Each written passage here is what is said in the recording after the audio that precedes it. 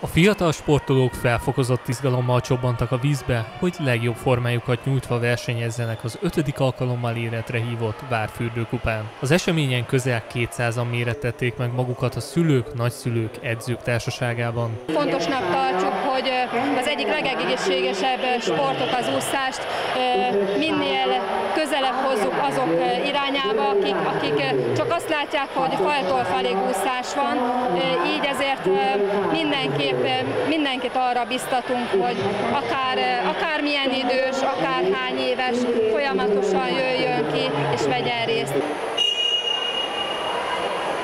Az 50 méteres sportoszudában 21 versenyszámban indultak a versenyzők. A tavalyi évben az úszoda felújítása miatt elmaradt a rendezvény. Éveken keresztül kimaradt ez a verseny a Magyar Úszónaptárból.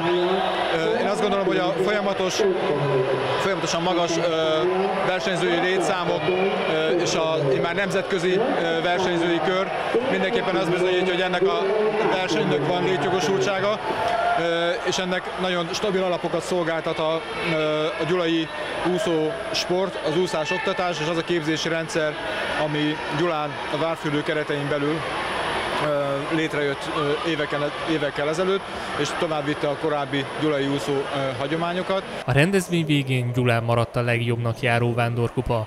Az összesített táblázat élén a Várfürdő úszó szakosztálya végzett 74 arany, 26 ezüst és 25 bronzéremmel.